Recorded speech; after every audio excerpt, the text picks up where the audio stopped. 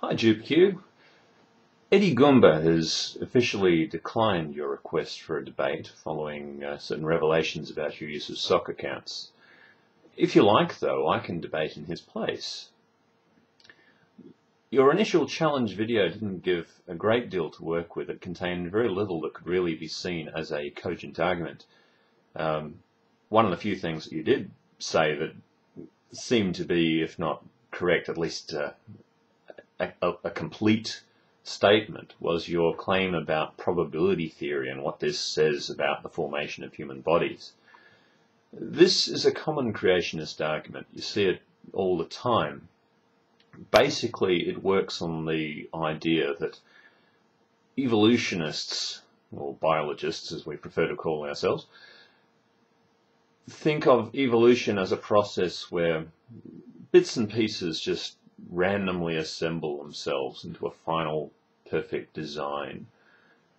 Um, and then you go and attack that argument by claiming that, well, 747s don't assemble themselves in uh, junkyards which is uh, valid to the extent that 747s do not assemble themselves in junkyards, but it's really beside the point because that's not what evolutionists claim.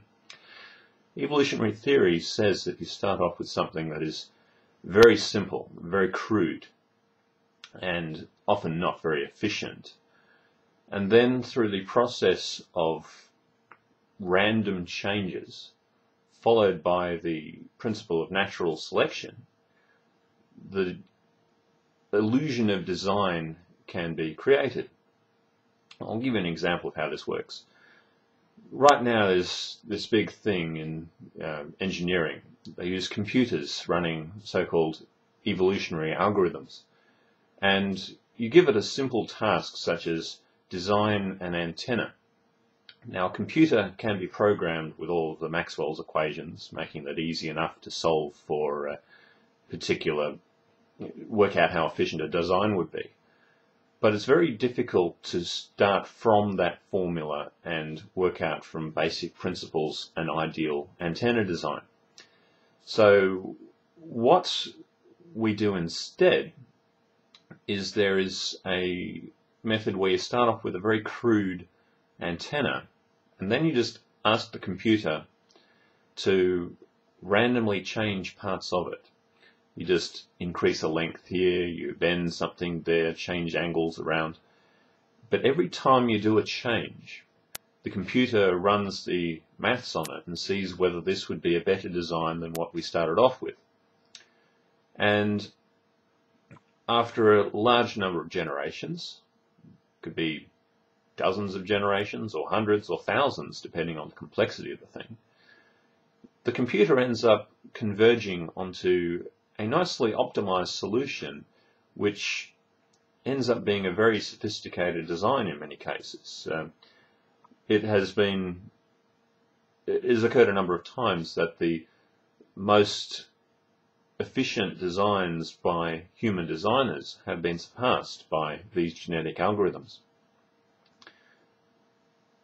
Now, that is not really a random process. That is a process where randomness is then worked on by testing.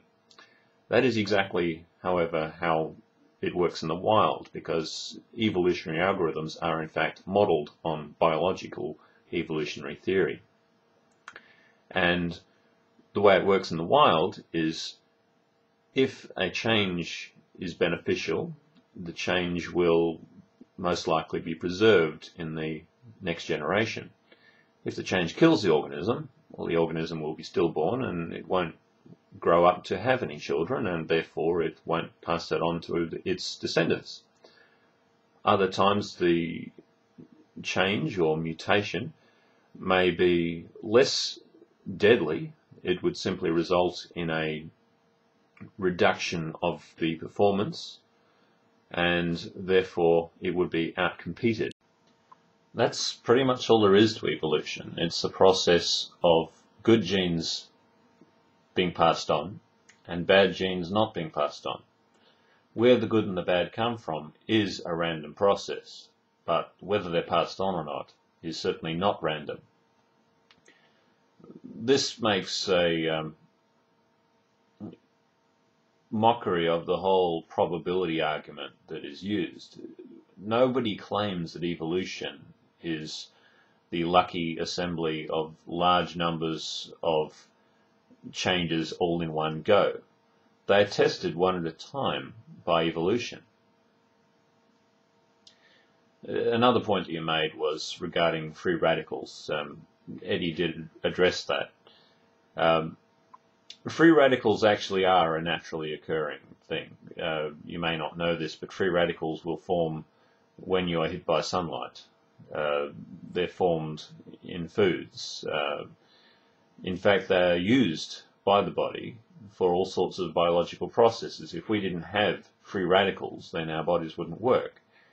Uh, where they cause a lot of harm, though, is when they get into the wrong place. A free radical is a highly reactive species, and if they attach themselves to your DNA, they will turn your DNA into a radical, and then it will have all sorts of chemistry or recombine in all sorts of nasty ways, resulting in mutations, which, for a highly optimized organism like a human being, most of those mutations will simply result in something nasty like cancer.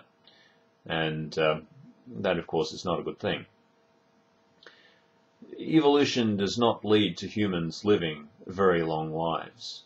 Evolution only works as far as it's good for the species if you can live long enough to raise your children to reproductive age and maybe support their children but it doesn't work any further than that. If we have a mutation which makes us uh, much more effective when we're young, that same mutation might be harmful in old age. We get a mutation which results in our immune system being more sensitive. That may mean we survive childhood illnesses better. But at the same time, it could result in an overactive immune system, which results in it attacking the body as you get older. Or another change might be a mutation which results in calcium being uh, more readily deposited on bones. Now, it's a good thing if uh, robust bones are a good thing, but it's a bad thing if that same gene results in calcium depositing itself inside your arteries giving you heart attacks when you're older. Of course, if that particular mutation only kills you when you reach the age of 110, then it isn't going to be selected for by the process of evolution. Uh, natural selection will only work on a change that affects your ability to bring up the next generation. It doesn't affect your ability much past that. So evolution, in fact, does result in numerous design flaws like that. Uh, if you're interested in it, we can provide additional examples for you, but uh, I'd suggest you just start researching this on the internet. Hit Google, go to Wikipedia, uh, even the Talk Origins archive. Um, all of this information is there.